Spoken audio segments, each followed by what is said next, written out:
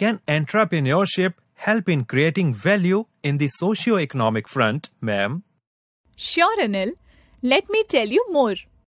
Entrepreneurship leads to high growth of economy in the local level. This by itself creates a value system in the local economy. This value system from lot of local economies helps in the culmination of a value system for the entire nation. Next, entrepreneurship helps in the growth of small business. This leads to more job opportunities in the local level.